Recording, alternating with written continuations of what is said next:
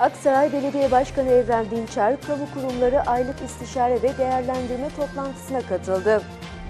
Kamu kurumları aylık istişare ve değerlendirme toplantısı Vali Ali Mantı Başkanlığında gerçekleştirildi. Toplantıya konuk olan Belediye Başkanı Evren Dinçer, Aksaray'ın her alanda kalkınması ve gelişmesi için kurumlar arası işbirliğinin önemine dikkat çekti. Kısa bir konuşma yapan Başkan Dinçer, sorumluluğumuz büyük. Şehir yönetimi, kamu kurumları, muhtarlar ve sivil toplum kuruluşlarıyla istişare kültürüyle şehrimize en iyi hizmeti vermek için birlikte çalışacağız dedi, teşekkür etti. Bu ay öğretmen evinde Sağlık Müdürlüğü ev sahipliğinde düzenlenen toplantıda kurumlar arası işbirliğine vurgu yapılarak kamu hizmetlerinin sunulmasında sorun ve eksiklikler değerlendirildi.